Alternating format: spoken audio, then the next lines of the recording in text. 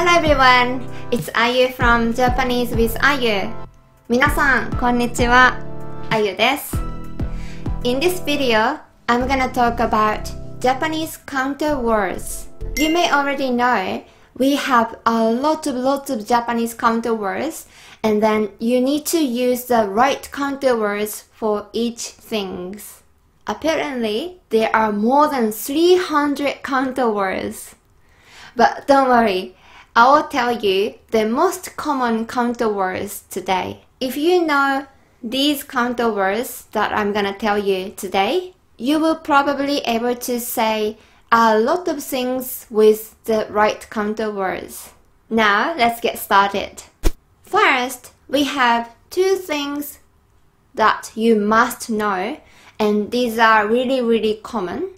And also, if you don't know what the right counter words, and you can use these two counter words. So the first one is tsu.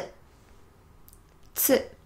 This is how you count. Hitotsu, futatsu, mitsu, yotsu, itsutsu, mutsu, nanatsu, yatsu, kokonotsu, and to.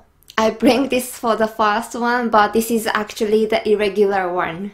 If you know how to count just a number, this is totally different because this is from long time ago. It's like an old Japanese, original Japanese counter words. I noticed that a lot of elder people still use this counter words for pretty much everything. If you ask their age, we normally use sai for age, but elder people say hitotsu basically for kids, like a little kids. They still say tsu. Hitotsu means one year old. So you can think of this is like a old style, but we still use it. And you can use this tsu for pretty much everything. So you must know this because it's really really useful and you can count for everything. So if you're not sure what counter words to use, then you can use this one. It's a lot of work, but please memorize these counter words and how to count this old style. Alright, let's move on to number two. Number two is ko. Ko. So now, if you know how to count numbers, you can do easily. 1個、2個、3個、 4個、5個、6個、7個、8個、9個、10個。This is basically for small things, small items like balls, cups, rings, apples. You can use 1個、2個、3個. So this one you can also use for pretty much everything. If it's too abstract, then it's more common to use 2, the first one. Okay? So those two you must know and it's really really useful. Okay, now Number three, this is satsu. Satsu. This counter word is for mostly books. So when you count books or magazines and comics, you can use this. And issatsu, nisatsu, sansatsu, and so on. This is easy. Okay, now number four. And number four is mai. Mai. This is for flat things or thin things like paper, CDs, DVDs, shirts, clothes, pants, anything for flat. 1枚、2枚、3枚、4枚, like that. Now, number 5. So this one is hon. Hon. This is for like stick shaped things or long things like pencils, umbrellas, carrots, things like long or stick shaped. And this is a bit tricky because when you count one pencil, for example, you say ippon, pon okay? Ippon ba ni hon. San bon. Okay let's go on. Yon hon. Go hon. Lo pon again pon. Nana hon. Hap pon, or sometimes hati hon. Kyu hon.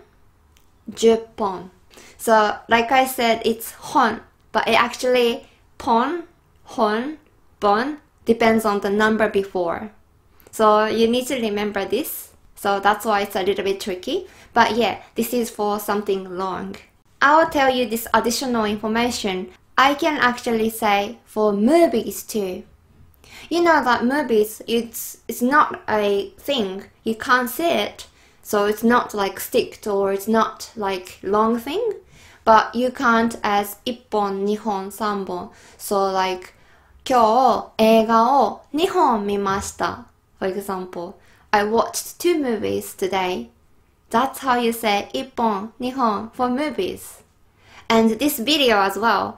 I have 40 something videos for my YouTube channel. And if you say 41, and then you say 41本 動画があります。動画 like small movies, like videos. 動画があります。Next one is number six. 台台 This is for like machines or like big appliances and larger instruments. So like pianos, microwaves, fridge, cars, computers, laptops, things like that. 1台、2台、3台、4台 and so on. And number 7, this is for animals, hiki, and this is same as hon. It's actually biki, hiki, piki. That's how you can count. And this is for like small or like medium-sized animals like cats, any insects, um, hamsters. So that's how you count. Ippiki, ni hiki, san biki, yon hiki, go hiki, ro.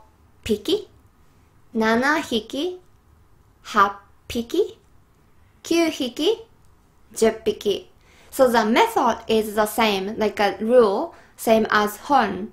So you can say ippon and piki nihon, nihiki, sam bon, sam biki. Same method. So if you remember one, and then you will easily remember the other things too. Okay, so now I said this is for smaller animals. So what about larger animals? So this is number eight, and that to, to. This kanji means actually head. So like one head, two heads. It sounds very funny, but okay. So for example, like elephants, cars, lions, camels. These things you count as ito, nito, santo. Alright? Okay, now number nine. This is wa, wa. So this kanji means feather. Okay, so animal's feather and also the the wings. So this one, can you imagine? This counter word for birds. So when you count any birds, you, you count as ichi wa, ni wa, san wa, yon wa, like that. Okay, and actually there is exceptional and it's really weird that is the animal rabbit. It's common mistakes that people count as 1匹2匹 because it's small. This is only the exception. It's wa. 1羽2羽3羽 and why do you think? And actually there is a interesting story behind. So in japan when it was edo period there was a time people are not allowed to eat meat but people wanted to eat meat. So they started saying oh rabbits they walk with two feet and it looks like a bird. So they started counting as a bird. They kind of made an excuse to eat bird, which is rabbit. So they wanted to eat meat. That's the story behind this. So we still count rabbit as ichiwa, niwa, sanwa. It's interesting, isn't it? And number 10. This is how you count for people. And do you remember the first one, the old Japanese counter words? We use the counter method for these two. So it actually nin.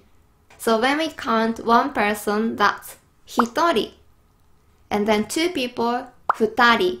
And after that, you can just add nin after the number. San nin, yo nin, go nin. Alright, Next, number 11. So this is kai and this is about the floor. So like the, you know, like for example, three stories house, you say ikkai, the first floor, the second floor is nikai, sankai, yonkai, gokai, rokai. Okay, so that's the building. That's the building stories. I mean floors. So you need to memorize this kanji because number 12, this is same pronunciation but different kanji, kai. So this is about counting times. How many times, okay? So how many times have you been to Japan? How many times did you eat um, meal today. So that's how you say 1回、2回、3回 this kanji. So I've been to Japan three times, for example, then you say 3回日本に行きました。3回日本に行きました。Okay? Okay, so the last one, number 13, this is hi or bai pai. This is how you count anything like bowl of rice or the glass of beer or anything like drinks or soup. So in the portion, like glass of something, cups of something, or like bowls of something. Okay. So for example, beer. 一杯、二杯、三杯、四杯、五杯。Okay? So this is the same method for hon and hiki as well.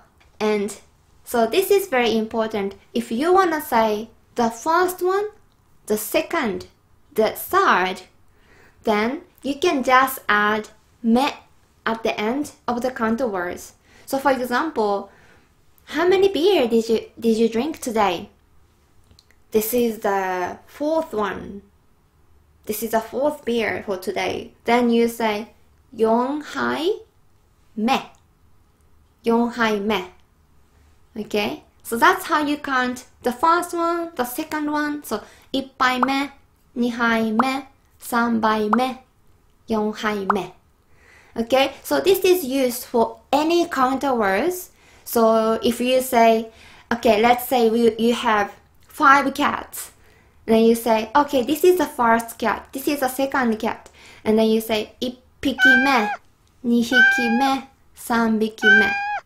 When you say, uh, the first time I went to Japan was this, the second time I went to Japan was this. So then you say, 1回目、2回目、3回目. Okay? So, I have a quiz for you today. I'll give you this picture and now you can count things and use the right counter words for each things and then write the comment and say make a sentence like for example 猫が3匹います Okay, so the cat. There are three cats. 猫が3匹います Okay, so in this picture, there are a lot of things. So you can count things and then use the right counter words, then make a sentence, and then write in this comment. I'll check your Japanese sentences, and if you have any mistakes, I will collect your Japanese sentences. Okay, that's your homework today. And yeah, I think this is my 46th video. I think, maybe. No, 47. This is my 47th seventh video, so I can say 47本目です。 So yeah, that's all for today. Thank you for watching. If you like my video, please give me thumbs up and don't forget to subscribe my channel.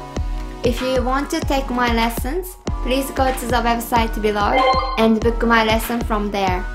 You can get $10 discount on the second lesson. If you have any questions, if you have anything that you want me to, to um, make a video about, you can also leave a comment here. 今日はありがとうございました。